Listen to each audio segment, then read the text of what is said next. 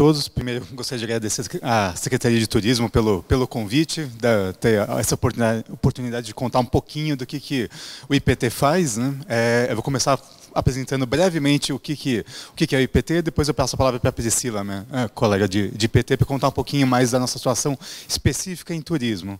Achei muito oportuna, oportuno o comentário de, de precisar chegar no município, que a gente percebeu isso também no IPT, a gente está fazendo um esforço bastante grande para estar tá bem próximo do, dos municípios no dia a dia.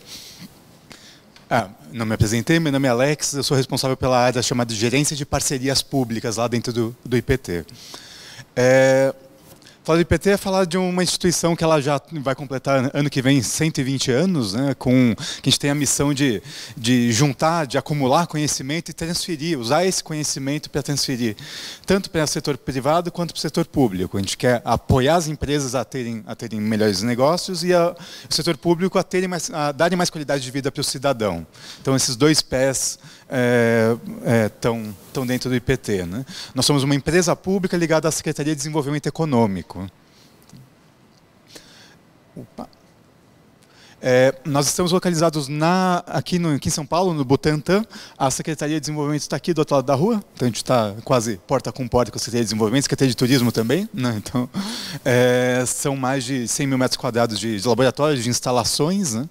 é, dentro da qual a gente tem duas unidadezinhas também, uma pequena em Franca, uma em São José dos Campos dentro do qual, desse, desse campus todo, a gente tem mais de mil profissionais, então, com perfis mais variados. Temos engenheiros, biólogos, geólogos, físicos, economistas, e a gente consegue, para cada projeto, para cada assunto que aparece dentro do PT, a gente junta esse time multidisciplinar para olhar, assim, é, todo, todo problema complexo, ele normalmente tem uma resposta simples, rápida e errada. Então, o que a gente costuma fazer é tentar juntar é, pessoas com formações diferentes para dar uma resposta completa e mais adequada para as demandas. É, aquela turma toda lá, ela, eles fazem diversos tipos de atividade. Eu vou focar nos que são mais ligados à gestão pública. Então, a gente tem muitos trabalhos de inspeção e monitoramento. Então, muitas vezes, o IPT é conhecido por ser chamado para dar um apoio para a defesa civil, investigação de algum do patrimônio histórico, é, fazer manutenção de, de, de, pontes, de obras de arte. Então, esse tipo de coisa que o, que o IPT faz mais ligado à gestão pública. Mas são é uma gama de atividades bastante grande. Né? Acho que o, o, quem está mais ligado ao governo do Estado deve lembrar do IPT, principalmente quando, em janeiro, fevereiro, quando começam as chuvas, muitas vezes o IPT está lá para ajudar a população a não, a não perder suas casas. Né?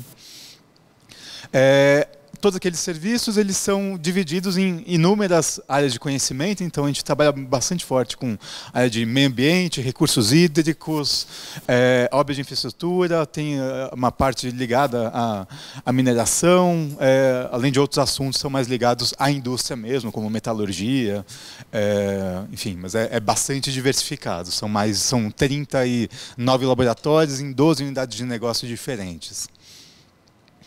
É, puxando, aí, puxando esse gancho de como que o PT está trabalhando com municípios, no, no começo do ano, apoiados pela Secretaria de Desenvolvimento, pela Coordenadoria de Desenvolvimento Territorial e Regional, eu cumprimentar o Marcelo que está aqui também, é, nós fiz, lançamos esse novo canal de atendimento, que é a plataforma IPT para municípios.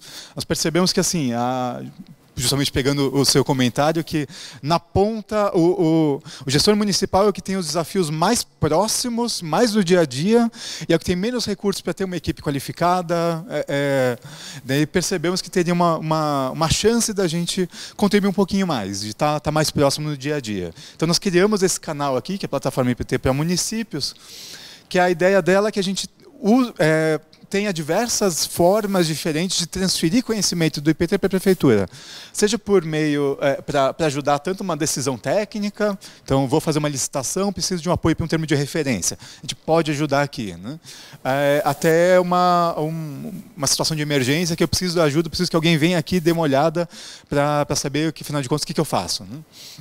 Então esse é um canal novo que foi criado para atendimento ao município. É, hoje o que a gente está incluindo nesse serviço é, são consultas aos nossos especialistas, ou seja, você pode levantar uma questão, a gente identifica a pessoa mais adequada para te dar uma resposta e, e coloca em contato direto. As dúvidas que forem respondidas, a gente já mantém um banco de dados, você pode acessar e procurar é, é esclarecimentos que já foram dados. Tem alguns cursos de atualização, é, entre os quais teremos de turismo, a, a Priscila vai contar um pouquinho aqui, né? É, mas com a ideia de, de deixar o gestor municipal mais confiante na hora de discutir uma, uma política, de conversar com o fornecedor, que às vezes está tá empurrando uma solução que você não tem certeza se é boa ou não. Né? Então é nesse sentido que a gente está dando esses cursos tem toda uma parte de, de relatórios técnicos já emitidos e, e, conhecimentos acumulados de IPT. Então, a gente tem na plataforma hoje, por exemplo, um manual de uniforme escolar. Então, vou fazer uma licitação de uniforme escolar, o que, que eu preciso ficar atento? Então, tem, tem assuntos diversos que já, já temos guias orientativos. E, por fim, o que eu mencionei também, é a questão de apoiar a redação de uma especificação. Então, preciso fazer um termo de referência, o que, que eu posso, que preciso ficar atento. Né? É, é, lógico que assim, não são todos os problemas que o PT vai conseguir resolver, é, principalmente com atendimento à distância, mas a gente vai fazer o máximo para, pelo menos, colocar vocês no caminho certo. Então, é, esse é o nosso compromisso. Né? Opa. É, vou passar a palavra para a Priscila, que vai contar um pouquinho mais do que, do que o, o IPT faz em turismo. Desculpe, Bianca. Ah, perfeito. É, o IPT, ele, por pela, pelo histórico de atuação, por ser uma instituição pública, com, de reputação, tudo, existe a possibilidade de contratação direta do IPT, tanto assim. É, é via plataforma, o e-mail municípios.ipt, acho que é o melhor canal para a gente começar a conversa. Então, vocês podem mandar um e-mail, a gente consegue é, é, ver a, as formas que a gente pode atender é, o, o, município, mas o, o, IPT ele tem essa possibilidade, por ser uma instituição já com, com reputação, com histórico, a gente consegue até é, pular para uma contratação direta se, há, se há algo que, que dê, dê, segurança ao município, que o município acha que, que é importante na nossa atuação. Na plataforma, a gente está revendo agora os pacotes, mas a gente está pensando em realmente ter, ter é, pacote de atendimento a partir de, de 8 mil reais, uma coisa assim, por ano, né, para realmente a gente conseguir chegar no, no orçamento que atenda vocês também. Né? Perfeito? Vou passar para a Priscila. Obrigado.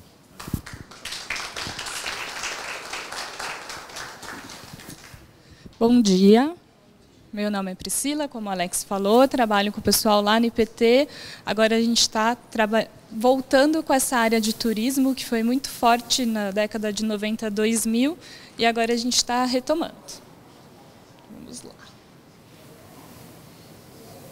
Bom, focando aí nos municípios, né, na gestão pública, ah, em 2015 a gente teve a lei que instituiu os municípios de interesse turístico e as estâncias. E aí, para você tentar ser um município de interesse turístico, você precisa ter o potencial turístico, ter o seu plano diretor de turismo, que tem que ser revisado periodicamente, e ter um conselho municipal de turismo atuante. Então, a gente tem algumas indicações do que é o ideal ter no plano diretor de turismo. É, vamos dizer assim, é um esqueleto, aí cada município vai trazer as suas informações, né? E o muito importante é que esse plano diretor de turismo ele tem que estar integrado com os outros planos do, do município, né? não pode ser uma coisa isolada. Então, alguns estudos que o IPT já realizou, a gente faz muito subsídios para planos diretores municipais, e sempre que o município tem uma vocação para turismo, é incluído um capítulo sobre turismo. Então, tem alguns municípios aí que nós já tra trabalhamos. A gente também tem alguns projetos voltados para a área específica de ecoturismo, com implantação de ecoparques. É, Votuporanga é um caso muito interessante que a gente tem um laboratório que trabalha com erosão e tinha uma área sofrendo com erosão que foi recuperada e transformada num ecoparque. Então a gente também trabalha, vamos dizer assim, uma gama muito grande, né? E a gente também foca nessa área do planejamento e gestão. Então a gente teve uma assessoria para a usina de Itaipu para o desenvolvimento turístico, planejamento de atividade turística em Pereira Barreto, gestão ambiental e ecoturismo em Jundiaí. Opa. É, outros estudos que a gente também costuma fazer é aproveitamento turístico de um, uma região, um local, um bairro. Então, nós fizemos para a represa de Atibaim, na área paulista, e para a vertente do rio Paranapanema. E um projeto muito legal que nós fizemos foi esse guia do turismo fluvial para a hidrovia Tietê-Paraná, que ele foi impresso, foi entregue, e agora a gente está trabalhando para relançar ele em formato digital. Que o impresso acabou, ninguém mais acha, muita gente ainda procura, então nós vamos relançar ele no digital, porque aí todo mundo consegue ter acesso hoje. Né? É, outros estudos que nós também fizemos foi a rota proposição de uma rota gastronômica em Jundiaí, nos bairros Caxambu e Colônia, que são de colonização italiana, então tem alambique, tem massa, tem várias coisas e levantamentos de atrativos turísticos. Os mais recentes foram Itanhaém, Monteiro Lobato e Mariporã, onde a gente criou mapas, fez o levantamento, ajudou o município a identificar os atrativos. E o nosso diferencial, como o Alex falou, é essa equipe multidisciplinar que consegue atuar em todas as áreas. Então, a gente tem quem faça o diagnóstico do meio físico, do meio biótico, do meio social, da economia. A gente tem essa equipe completa para estar tá trabalhando. E aí também uma outra área que a gente trabalha bastante é a cartografia digital. Então, levando esse inventário turístico pro digital, com geolocalização, banco de dados, elaboração dos mapas temáticos do município, aí de várias áreas, mapas de atrativos turísticos e os atlas que podem ser socioambientais e ou turísticos. Então, os mais recentes que a gente fez, o de cima é Mairiporã, que foi lançado ano passado, e o de baixo é Itanhaém, que é, principalmente o de Itanhaém, foi impresso e entregue em todas as escolas para as crianças trabalharem com os dados do próprio município. Aí você aprende e entende o que está acontecendo. Né? Você olha pela janela e fala, ah, eu já sei que isso aqui é isso. E serviços que a gente está propondo para os municípios que a gente consegue executar. Então, seria o planejamento da gestão da atividade turística, revisão e integração dos planos diretores de turismo com os outros planos para gestão, planejamento de regiões e rotas turísticas e identificação de soluções tecnológicas para destinos inteligentes.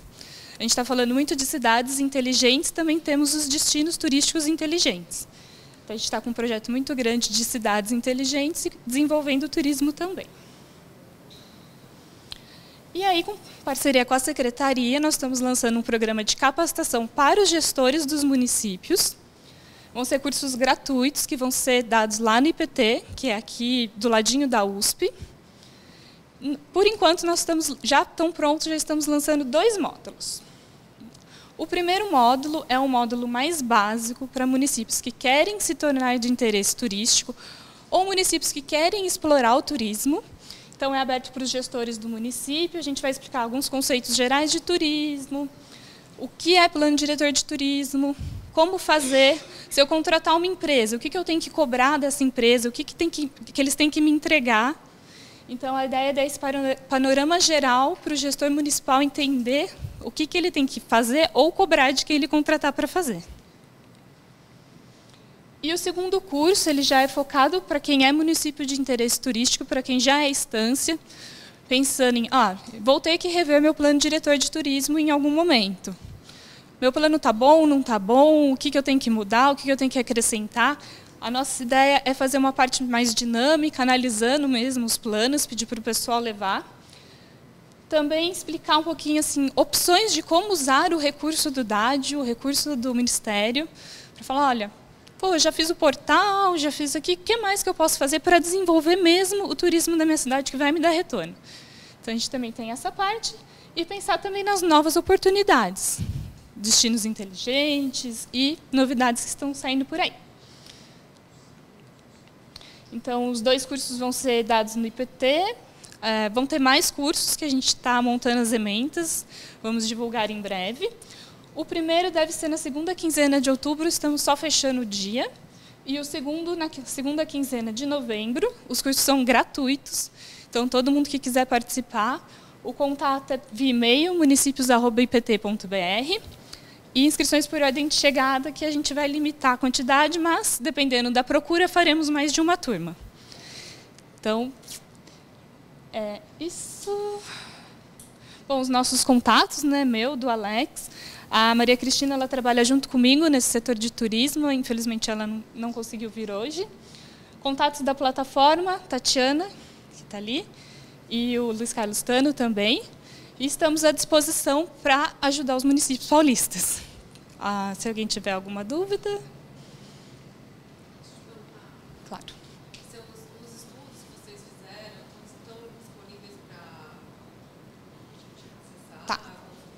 Assim, a maioria já está no nosso site do IPT. Todos já estão na plataforma dos municípios e a gente, os mais antigos a gente está aos poucos a gente está disponibilizando. Que como não era digital a gente está digitalizando para conseguir disponibilizar. Só para complementar, o, a princípio assim, o, o uma vez que o IPT é uma empresa pública, né, a gente, o, o cliente contratante normalmente é quem tem acesso ao relatório. Né? É, a gente solicitando para a prefeitura, ela liberando o acesso, a gente consegue reencaminhar até, é, pensando em ministério, seria algo interessante a gente poderia, poderia fazer. Mas, a princípio, a, a, a posse das informações, o, o, de fato, é do município. Né? Por favor. Bom dia a todos. Aproveitar a oportunidade. Meu nome é Fernando Brandão, sou coordenador de programas e projetos da cidade turística de Mariporã e hoje também interlocutor e coordenador do circuito turístico entre Serras e Águas, que abrange toda a cidade de Guarulhos até a região Bragantina, né? são 14 cidades inseridas nesse, nessa região. Na verdade, agradecer, a gente teve um trabalho recente lá em Mariporã, né, uma parceria da nossa Secretaria de Turismo com a Secretaria Municipal de Meio Ambiente, onde o IPT fez um trabalho maravilhoso, a gente tem lá os atlas impressos, né, e foi uma experiência bacana, que foi a criação, né, tá, na nossa Câmara Municipal, a minuta para a criação do Parque Ecológico do Pico do Olho d'Água, que é um mosaico, na verdade, que vai ser feito em Mariporã, né, porque já parte de uma parte, já, já atinge uma parte urbanizada. E Mariporã, para quem não conhece, é 86% de área de manancial, ou seja, a água que a gente está saindo da torneirinha aqui do Anhembi passa por nós lá em Mariporã. Então a gente sofre um pouco também com esse com esse não é problema, na verdade é uma oportunidade, né? O turismo também, o ecoturismo é muito forte lá. Então, na verdade, seria assim, reforçar que acho que a parceria que a gente fez com o IPT já estamos buscando uma segunda, né? Acho que o Rui Marcelo deve estar em contato lá com o pessoal para poder fazer outros trabalhos e a gente deve estar pretendendo levar para o circuito turístico em Serras e Águas, porque a gente realmente tem uma equipe totalmente qualificada, a gente participou, eu participei ativamente das visitas técnicas, faço até um relato aqui que eu acabei antes foi o IPT vai com um drone fazer né, o levantamento e assim lá no Pico do Olho d'Água em Mariporã, um lugar que sempre dá umas rajadas de vento. E foi um ato atípico lá que o drone sumiu. E, aí, e a gente ficou lá duas horas no meio do mato e eu consegui achar o drone do IPT novamente, né? Então assim é, vale a pena realmente ter o IPT ao lado aí dos gestores municipais porque eles são bem profissionais e a gente em breve vai ter em Mariporã então o primeiro parque ecológico municipal, graças a essa parceria, que no caso lá veio através dos recursos do FEIDRO, né, que foi através da Sabesp que a gente tem esse, essa oportunidade. Então é só para agradecer e dizer que Mariporã com certeza já é parceira e virá outras parcerias aí. Obrigado, bom dia a todos. Só, só de passar a palavra, só é, aproveitar essa deixa. De fato, tem o, o FEIDRO, que é um fundo que é, provavelmente todos os municípios têm, têm acesso de alguma forma. É um canal realmente para fazer projetos de turismo, que é uma coisa que não está na cabeça no dia a dia, mas é um negócio interessante. A gente pode, pode ajudar a, a formatar coisas com vocês. Né? Bom dia a todos. Meu nome é Sérgio, eu sou vice-presidente do Contur da cidade de Tapiraí. Então, Tapiraí é uma cidade pequena, a área territorial é grande, né? uma das maiores do Brasil. Faz divisa com sete municípios. E lá predomina a Mata Atlântica. Né? Então, eu queria saber o seguinte: se o IPT poderia nos ajudar numa solução. Uh, recentemente foi transferido lá para o nosso município uma tribo de índios que foi removida pela Dersa aqui do Rodoanel, do Pico do Jaraguá. Então, foi a transferência dessas aldeias para lá foi uma aberração, porque tem mais ou menos 120 índios, eles estão vivendo de esmolas, porque eles tiveram que alugar caminhões, igual boia fria, e foram para a nossa região. Então, o que, a DERSA fez? A DERSA destinou recurso da desapropriação para a FUNAI. E a FUNAI comprou uma área numa fazenda, que era toda de Mata Atlântica. Os índios estão dizimando a Mata Atlântica, porque eles precisam de lugar para fazer as casas deles. Né? Então, eles estão fazendo no facão, no machado. Né? E, por incrível que pareça, 150, mais ou menos, contando as crianças, estão vivendo sem um único banheiro. Né? Então, eles fazem o quê? As necessidades da mata. Né? E pegam a água morro abaixo, certo? Que é a água que eles estão bebendo. Aí é, tem um, um, jogo de empurra. Né? Vai-se na prefeitura, nós, o, o, prefeito fala, isso não é problema meu, é problema da FUNAI. Aí você vai na FUNAI, a FUNAI fala assim, isso não é problema da FUNAI, é problema da DERSA que é, que comprou a fazenda. Né? Então, a comunidade lá tem ajudado, fizeram lá uma vaquinha, é, conseguiram arrecadar acho que 20 mil para tentar fazer alguns banheiros, mas a situação é deplorável. Até a TV tem, que a afiliada da Globo, fez uma matéria com a gente lá, né? Os molequinhos índios assim, apareceu um litro de leite, não dá para você acreditar que está em São Paulo. E a mãe desperrava na boca dele, parecendo um bezerrinho, assim, o molequinho se matava de tomar o leite. Então, a nossa preocupação lá enquanto cultura é o seguinte: se isso tivesse sido planejado, eh, nós poderíamos até aproveitar essa aldeia para o turismo, certo? Porque eles fariam artesanato, porque tem muitos jovens, o que, que eles vão viver? Eles vão começar a furtar daqui uns dias. Né? Então, eu queria saber o seguinte: se o IPT, é, é, para, por exemplo, ir lá e nos ajudar a fazer um trabalho, né? se ele é, cobraria. Porque se cobrar já ficou ruim, porque o prefeito não quer nem saber daquilo lá, ele disse que não é com ele. Né? Então, é, vocês podem nos dar se uma ideia para melhorar essa situação? Era essa a pergunta que eu teria a fazer. Legal. Eu, eu vou passar para vocês responderem. Aí eu vou pedir pro se o Marcelo pudesse dar uma palavrinha, porque eu acho que a, a integração que a gente fez aqui já, é, a Secretaria de Turismo com a Secretaria de Desenvolvimento que possibilitou essa nossa parceria é, com o IPT, que é uma parte deles. Eu acho que já é um exemplo de como a gente está se reunindo para resolver problemas como, como esse, por exemplo.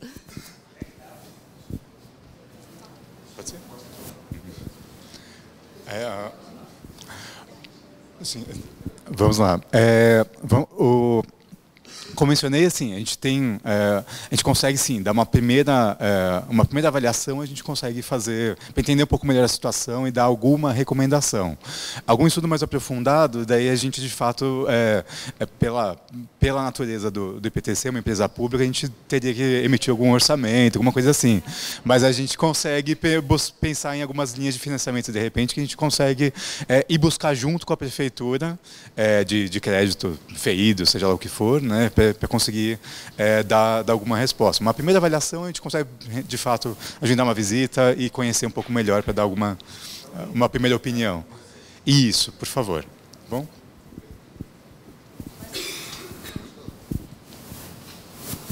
Bom dia a todos e a todas. Meu nome é Marcelo Machado, sou coordenador da Secretaria de Desenvolvimento Econômico na área de desenvolvimento regional e territorial eu gostaria de passar uma experiência que teve no município de São Vicente relacionada aos índios. Há 20 anos atrás, tinha um espaço que era ocupado pelo Exército, era uma área militar, uma praia que fica a dois quilômetros do centro da cidade de São Vicente, uma praia virgem. E o Exército ia sair daquela área. O prefeito, na época, tinha medo de que aquele espaço pudesse ser ocupado e tivesse uma ocupação eh, desregular, de habitação, enfim. Ele tinha um problema desse também com o índio, e aí ele pegou e colocou essa tribo nesse local. Conforme todo mundo sabe, a legislação da FUNAI ela tem uma proteção específica para o índio. Eles fazem a preservação do local hoje, né, deixa de ser um problema do município em ter que estar tá preservando. Então, isso aí foi uma solução dada no momento. Não vou dizer que foi o melhor dos mundos. Nós temos problemas lá também. O município acabou tendo problema com, com o atendimento do índio, algumas questões que a Secretaria de Assistência Social acabou interferindo, apoiando. Então, existem algumas formas de resolver essa situação. Isso não é um problema é, difícil de resolver. Tem que existir uma parceria assim no município. O Estado de São Paulo tem o ITESP, que é um órgão também que cuida de assentamentos, cuida do, dos, dos, grupos é, quilombolas. Eu acho que seria interessante, o prefeito estar em contato também com, a, com o ITESP, a outra questão que o senhor colocou também é a questão do artesanato. São Paulo tem a Sutaco, que é um órgão que pode estar fazendo capacitação, pode estar instruindo uma outra forma de atividade artesanal que seja mais atrativa para ser explorada turisticamente dentro do município. Então, existem mecanismos que podem ser utilizados. Eu acho que é um pouco mais de aprofundamento de conhecimento, mas pode acionar a nós, se o prefeito quiser fazer um contato, através da plataforma do, dos municípios, né? e a gente tem um trabalho em conjunto e a gente pode dar essa assessoria ao prefeito na forma de minimizar esses problemas lá que vocês estão tendo. Ok?